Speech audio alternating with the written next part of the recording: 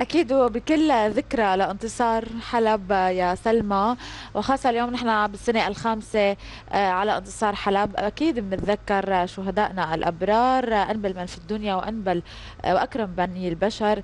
واليوم رح نحكي آه، طبعا مع والدة شهيد لأنه فضل تضحياتهم. نحن اليوم عم نحتفل بالذكرى الخامسة لانتصار حلب. اليوم بدنا نحكي عن أحد الشهداء مع أم شهيد. ما وقفت كونها فقط أم شهيد لكن هي ناشطة نشطة مجتمعية وفاعلة جدا بالمجتمع سلمى. أكيد زينب رح نرحب بضيفتنا لليوم اللي كان لها بصمة مجتمعية وأيضا بصمة إنسانية بكثير من المطارح. خلينا نرحب بأم الشهيد كريكور أشن قليان. يولا غندور يسعد صباحك وأهلا وسهلا فيكي صباح الخير. صباح انتصارات هزت عرش العالم. أهلا وسهلا فيكم بحلب كل سنة. وأنتم سالمين كل سنة وسوريا من انتصار لانتصار أكبر. أهلا وسهلا فيكي. يعني بداية كل ذكرى أنتصار نحن بنعرف كل أهل شهيد بتذكروا يمكن ابنهم بيقولوا إنه يعني بفضل تضحياتهم نحن اليوم قاعدين عم نحتفل بتحرير حلب بذكرى انتصار حلب. بدنا إياكي هيك بكل فخر نحن بنعرف إنه تكرم شهيد غريكور كثير لكن اليوم انت كأم شهيد كل ذكرى انتصار وهو خاصة إنه راح بربيع العمر يعني بعمر كثير صغير. فاحكي لنا كمان عن هي القصة. هلا هي السنة بالذات انتصار له طعم ثاني آه انتصار آه آه إنه هاي السنة أنا وأبوه اخواته استلمنا وسام الشرف والإخلاص. فكان لها يعني طعم ثاني كانتصارات سوريا واستلام وسام الشرف هذا كان شرف كبير لنا نحن شوي تأخرنا باستلامه بس الحمد لله يعني آه، فاجى التوقيت هو مع توقيت انتصارات سوريا وحلب بالذات. فكتير كانت القصة بتعني لنا بشكل كبير لأنه صراحة نحن كأمهات شهداء ما في شيء آه، بيخلي العزاء لنا كوالدة شهيد أو كأبو شهيد أو هو بس الانتصار. نعم. فطول ما سوريا منتصرة نحن بيكون هذا العزاء الأكبر لنا نعم أكيد. يعني آه، زينب ونحن عم آه، عم نحكي مع آه، مدام يولا دائما بنحس بهي نظرة الفخر ونظرة الثبات ونظرة الفرح. يعني كنا عم نحكي قد إيه كل ذكرى انتصار هيك بيزيد الفخر بيزيد الرضا بالنفس بيزيد رضاكي كمان على جريكور وخاصة إنه هو من الرموز مثل ما قلنا الشابة اللي كانت ما بدنا نبكيك اليوم. لا نحن بدنا نحكي عن فخر لأنه فعلا لولا تضحياتهم ما كنا موجودين ما كل سنة عم نجي وما كل سنة عم نحكي عن هي الذكرى. يعني هذا أكبر تكريم لهم إنه تحررت حلب بالكامل وهلأ عم تستعيد نشاطها. فهن عم ينذكروا بكل مفصل من مفاصل حلب. آه خبرينا اليوم آه عن أيضا آه يمكن نحن بنعرف إنه كان في تكريم كان في تسمية مدرسة باسم كريكور. خبرينا كمان هذا الشعور قد إيه حلو اليوم. كل حي أو مدرسة أو شارع يتسمى باسم شهيد من شهداء حلب. طبعا شغلة كثير كبيرة وشغلة آه، كثير بتعطي اعتبار للشهيد. فأنا من أول ما آه، يمكن هي قصة قديمة أنه أنا كنت كثير صغيرة واستشهد ابن جيراننا. فكان هو أول شهيد آه، بياخذوا أهله باسمه مدرسة. أنا كثير صغيرة كنت يمكن وقتها شي ست سبع سنين. بس كانت الفكرة كثير معلقة براسي إنه كيف أمه طلب الوحيد كان هالقصة؟ فأول شغلة أنا بدرت لذهني طبعا بعد ما استعادت قواي وهالقصص. فكنت إنه طالبة مدرسة باسمه. طلبنا المدرسة من السيد الرئيس الله يطول بعمره يا رب. وكان آه، شغلة كثير كبيرة إنه قدرنا ناخذ المدرسة باسم الشهيد وتكريم من السيد الرئيس لأهل الشهيد وللشهيد نفسه.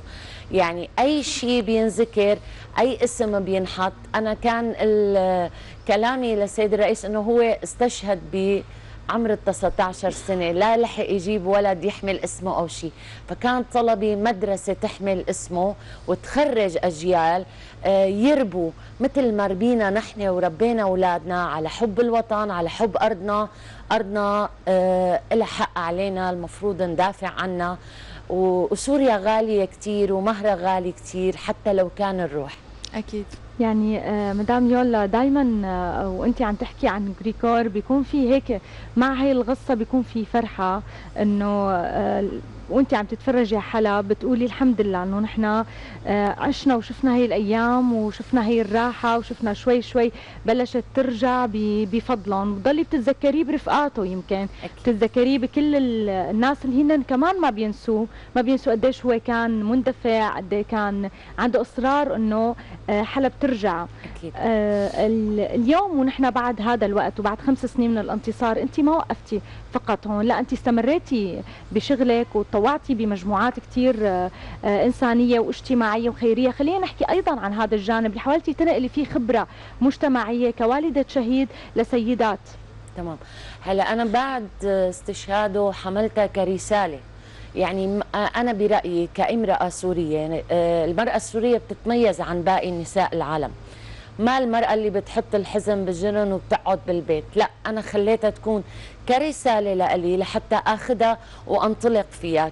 من زاوية آه، ناشطة اجتماعية. كان في لنا عدة آه، مجالات بجمعيات وهالقصص. كنت مع كنا مع أهالي الشهداء.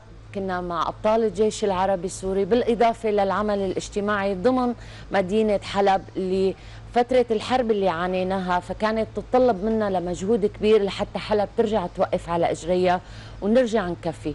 فهو استشهاده كان دافع أساسي لإلي لحتى أدخل بهذا المجال عن طريق شغلات كثيرة. آه كل الناس بتعرف أنا كيف بشتغل كيف بعمل كيف بتكون اندفاعاتي بهذا المجال. فنشكر الله أنا وصلت لمرحلة لا بأس فيها أنه قدرنا نعمل شيء طبعا كان الهدف الأول والأساسي هو اسمه. يعني اليوم أنا لما اشتغلت أنا بشتغل باسم الشهيد. حتى ما بريد ينذكر اسم يولا الكل بيعرف أم كوكو. أكيد. يعني بنقول السلام لروحه أكيد. بنقول لك إنه يمكن انت نموذج من كثير من السيدات السوريات أمهات الشهداء اللي يمكن عانوا نفس الجرح ونفس المعاناة لكن داووا بعضهم داووا بعضهم بانتصار البلد الوطن.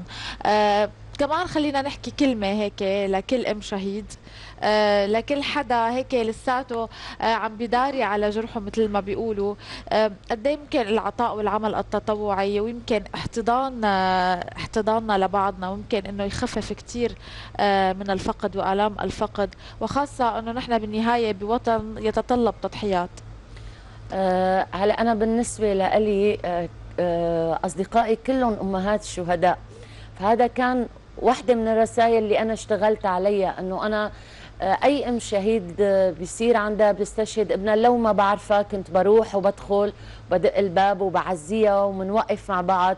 فكانوا بيشوفوها لفتة حلوة يعني أنه آه، في إنسان عنده نفس الغصة ونفس الألم.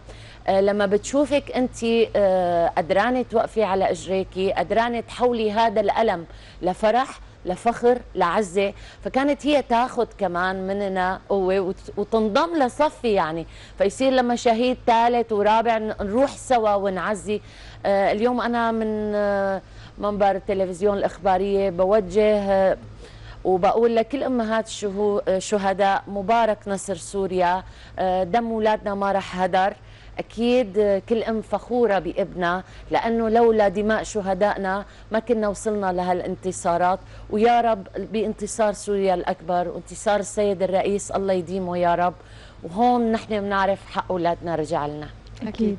يعني بدنا آه، بختام حديثنا بدنا نقول لك شكرا كثير لك ونحن دائما بنكون فخورين إنه نحن آه، نطل بصباحنا من حلب مع أهالي الشهداء. ومع حضرتك أكيد نورتينا اليوم وأعطيتينا قوة كثير ودافع هيك لحتى نستمر أكيد. شكرا لكم كمان. دايما ما بتنسونا وبتذكرونا بالانتصارات. شكرا كثير شكرا لك يولا. وأكيد يعني أنت صرتي جزء من انتصار حلب. بكونك أم شهيد وكونك أيضا ناشطة يعني بعدة مجموعات متطوعة. أنا بعرف كثير منيح قد إيه في عندك هيك قدرة على العطاء وحتى أولادك يمكن ما بيشوفوك بالبيت. تماما. نحن بدنا نقول لهم كمان إن شاء الله هيك اولادك الله يخلي لك إياهم. واخوه صغير لجريكور كمان يكون مثل ما بدك. وأيضا هيك دائما نكون فخورين بدماء شهدائنا والله يحمي الجميع. شكرا لك. شكرا لكم. شكرا لك.